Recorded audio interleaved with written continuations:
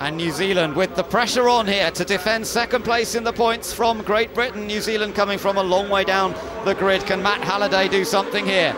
We're all set for the final feature race of the second season of A1GP. Welcome to Motorsport. We get underway, and it's a good start from Germany. Germany going side by side with Team GBR into Paddock Hill Bend. Oh, this is going to be a close battle. Germany going around the outside. Robbie Kerr on the inside. They're still side by side. Germany trying to shut the door. Can he do it? Now he's got to go around the outside of the hairpin, and if he does that, he might have the inside line for Graham Hill Bend. They're still side by side. Germany now just takes the lead. Robbie Kerr will try and cut back on the exit, but Germany shuts the door and Germany leads. Well, I think there's power boost being used already by both big then a block a blow up from Italy in third place.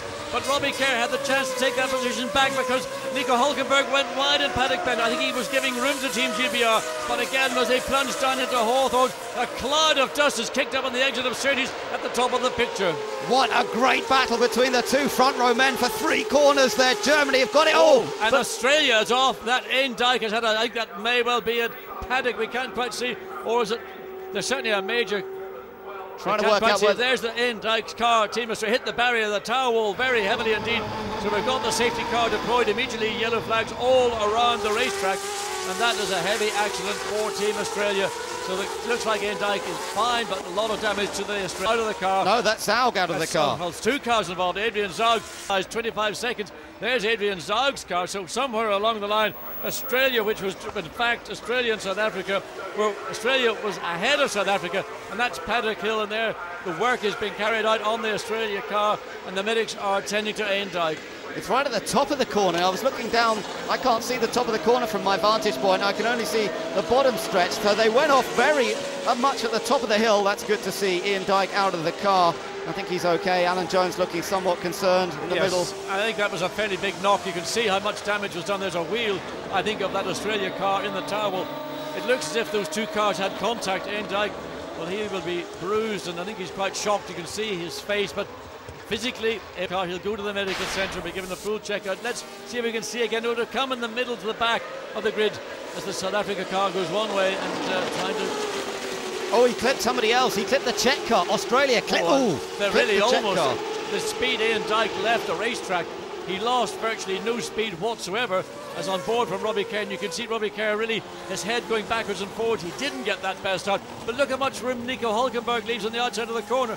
He did that because he was aware that Robbie Kerr was going to put a wheel, almost wheel to wheel, interlocking wheels going into, into Druids. That was a fantastic start. And, you know, that was so fair between the two hard racers. They gave each other space all the way round. And, uh, of course, Hulkenberg's never raced here at Brands. Oh, oh that was quick. I mean, that was over 100 miles an hour when that car left the racetrack and virtually no speed loss whatsoever. There's the view again. So the Czech Republic, and in fact the Czech Republic took out so took out South Africa. So it was contact with Australia and Czech Republic, and then the Czech Republic consequently bumped into into South Africa. New Zealand got away with that. Now remember, New Zealand are desperate for points to try and hold on to second place in the championship. Two things have happened to them that they will be pleased about. Their big rival Great Britain's been pushed back to second, and they got through the drama of the first lap, and they're in 13th. They're not in the points yet, they're not safe yet, but that's certainly a little boost uh, into morale in the New Zealand camp at the moment. They're biting their fingernails, I think, here today because they thought they had second place wrapped up. There is the German team, though, and they saw a fantastic getaway from Hulkenberg. Well, for three corners, they were virtually wheel to wheel, interlocking wheels side by side, and Robbie Kerr seemed to have the advantage in overall grip terms. If you go back, and there we see the heavily damaged to the left front in particular of the Australia car. Ian Dyck went off the racetrack at the very, very top of Hill Bend at undiminished speed and hit that tower wall in front of this solid or solid Armco barrier and really uh, virtually no loss of speed for the Australian driver at the point of impact. That was a heavy hit, but Ian Dyck's out of the car, been taken away and been checked out at the medical centre.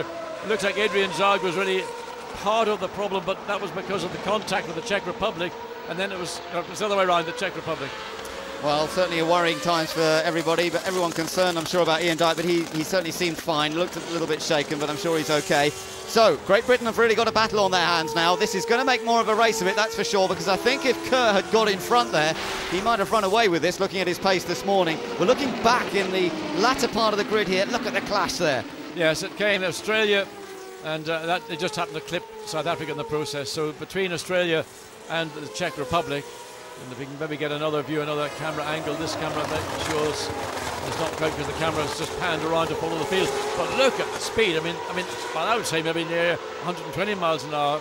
And look, wheels. There's part of the suspension of the car rolling down the inside from on board. This is the view. There you see the contact. Well, Australia Ian Dyck had very, very little room to manoeuvre. He was trying to squeeze past the Czech Republic. I think that was just a little bit too ambitious for Ian Dyck, particularly with so many cars. There was cars to the left of the Czech Republic. That was South Africa. So a frightening looking accident, but Ian is safely out of the car. Let's see what Alan Jones has to think about it. He's with Simon Hill. Alan, could see that yourself and the rest of the team obviously very concerned about Ian. Has he come back to you on the radio? Yeah, yeah, he's okay. Um, he's fine. And that's the main thing. I mean, we can fix the car, and um, it's the last race of the season, so we've got plenty of time to do it. But no, he's okay. That's the main thing. Yeah, obviously, it just looked like a typical first corner shunt, typical paddock accident. You've raced at Brands yourself, you probably know what it's like. Yeah, well, I mean, the dreaded paddock bend, first lap, first corner. Um, you know, four cars into one don't go, and uh, that's what they tried to do, and that was the consequence. But, you know, that, that's motor racing, and unfortunately today it was our turn to be involved. Thank you, Alan. Okay, thank you. Yeah, well, he's seen it all before, hasn't he, John? So he's not. Yes, he has, and I'm very Phillips, uh, having seen the replays clearly on you. The Paddock Hill Bend is one of those few corners on a racetrack which is a high-speed corner. We don't get to see very many high-speed corners at the end of a pit straight, and that's what makes this Brands Hatch circuit unique. Now, a lot of time is going to be taken to get that assembled because there's binding in front of the tyre wall. That, the tyres that go behind it are going to be put back, so we could be looking at up to five laps behind the safety car.